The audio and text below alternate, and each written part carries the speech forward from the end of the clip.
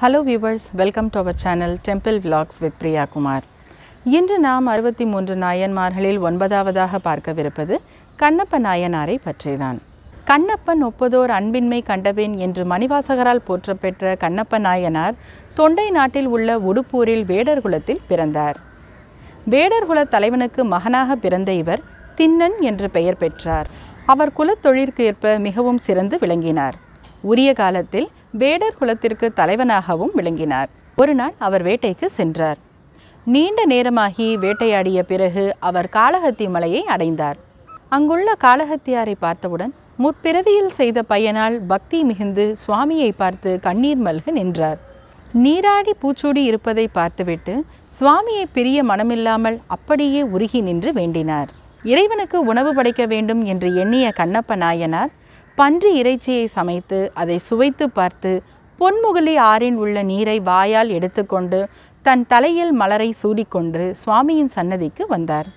வந்தவர் சுவாமி தலையில் ஏற்கனவே இருக்கும் மலர்களை தன்னுடைய காலால் எடுத்து வாயில் இருக்கும் நீரை உமிழ்ந்து பின்பு பன்றி இறைச்சியை அவர் சுவாமிக்கு படைத்தார். தன் தலையில் எடுத்து கொண்டு வந்த மலர்களை சுவாமிக்கு சூட்டினார். இரவு முழுவதும் இறைவனுக்கு காவலனாக நின்றார்.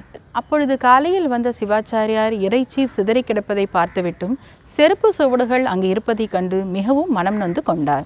சிவாச்சாரியார் கோவிலை சுத்தப்படுத்திய பிறகு சுவாமிக்கு நீராட்டி பூஜை செய்ய தொடங்கினார். ஆனால் திண்ணன் என்னவோ சுவாமிக்கு இறைச்சியையும் வாயில் உமிழ்ந்த நீரையும் மட்டுமே இறைவனுக்கு படைத்தார். இப்படியே சில நாட்கள் செல்கிறது. சிவாச்சாரியார் மிகவும் மனம் வருந்தி இறைவனிடம் ஏன் இப்படி நடக்கிறது? யார் இப்படி செய்கிறார்கள்? என்று நினைத்து மிகவும் வருந்தினார். இறைவன் அவர் கனவில் தோன்றி அன்பு வடிவான அவனை கொடிய வேடுவன் என்று நினையாதே என்றும் அவன் அன்பே வடிவானவன் என்றும் அவன் செயல்கள் எல்லாம் எமக்கினியவையாகவே இருக்கின்றன என்று கூறுகிறார். மேலும் நாளை நீ ஒளிந்திருந்து அவன் எம்பால் கொண்ட அன்பினை நேரில் கண்டு மனம் தெளிவாயாக என்றும் கூறுகிறார். அவ்வாறே சிவகோச்சாரியார் மறுநாள் பூஜை முடிந்த பிறகு பின்புறத்தில் மறைந்து நிற்கின்றார். தின்னனார் வழிபடத் தொடங்கிய ஆறாம் நாளாகிய அன்று வழக்கம் போல் ஊனும் நீரும் பூவும் கொண்டு வந்தார். தின்னனார் நெருங்கி வந்தபொழுது சிவலிங்கத்தின் ஒரு கண்ணில் ரத்தம் வடிந்து கொண்டு இருந்தது. தின்னனார் பதறி புண் தீர்க்கும் பச்சிலை கொண்டு வந்து பிழிந்து சிகிச்சை செய்தார். ரத்தம் வழிவது நிற்கவில்லை. உறுப்புக்கு ஊறு நேர்ந்தால் வேறு உறுப்பை பொருத்தலாம் என நினைத்து தம் கண்ணை அம்பினால் எடுத்து சிவபிரானின் புண்ணாகிய கண்ணில் அப்பினார். ரத்தம் நின்றதைக் கண்டு மகிழ்ந்தார். தின்னனாரது அன்பின் வலிமையை மேலும் விளக்குவதற்காக இடக்கண்ணில் குருதி ஒழுகுமாறு சிவபிரான் அருளிச் செய்தார்.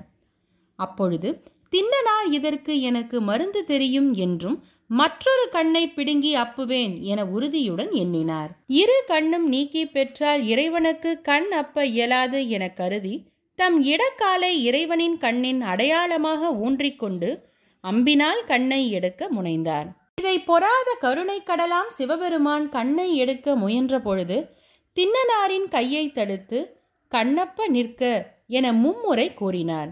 சிவ கோச்சாரியார் தின்னனாரது அன்பின் ஆழத்தை உணர்ந்து ஆனந்த கண்ணீர் சொரிந்தார்.